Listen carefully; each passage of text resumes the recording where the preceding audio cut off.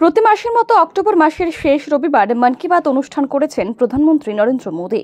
মন কি বাতের একশো ছয়তম পর্বে দেশবাসীকে উৎসবের মরশুমের শুভেচ্ছা জানিয়েছেন তিনি। পাশাপাশি বিভিন্ন বিষয় উঠে এসেছে তার বক্তব্যে। তিনি বলেছেন, এই অনুষ্ঠান এমন সময়ে হচ্ছে যখন গোটা দেশবাসী উৎসবের মেজাজে রয়েছে। আপনাদের সকলকে আমি আসন্ন উৎসবের জন্য অভিনন্দন জানাই।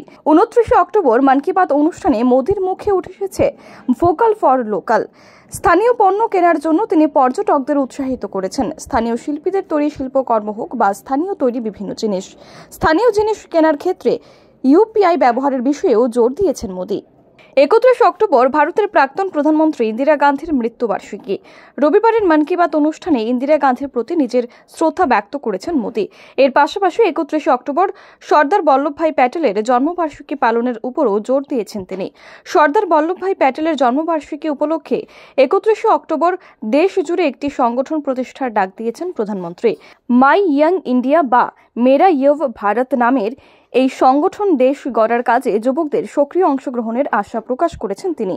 পনেরোই নভেম্বর বিরসা মুন্ডার জন্মদিন উপলক্ষে সারা দেশে আদিবাসী গৌরব দিবস উদযাপনের কথাও দেশবাসীর উদ্দেশ্য জানিয়েছেন প্রধানমন্ত্রী। তিনি বলেছেন, বিরসা মুন্ডা আমাদের হৃদয়ে থাকেন।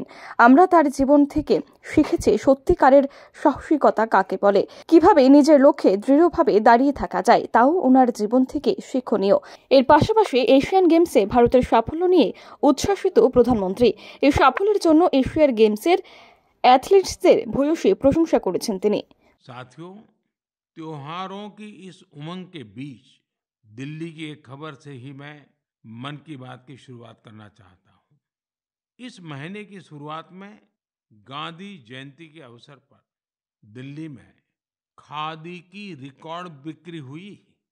यहाँ कॉनॉट प्लेस में एक ही खादी स्टोर में एक ही दिन में डेढ़ करोड़ रुपये से ज़्यादा का सामान लोगों ने खरीदा। इस महीने चल रहे खादी महोत्सव ने एक बार फिर बिक्री के अपने सारे पुराने रिकॉर्ड तोड़ दिए हैं। आपको एक और बात जानकर भी बहुत अच्छा लगेगा। दस साल पहले देश में जहाँ खादी प्रोडक्ट्स की बिक्री बड़ी मुश्किल से तीस हज़ार करोड़ रुपए से भी कम थी।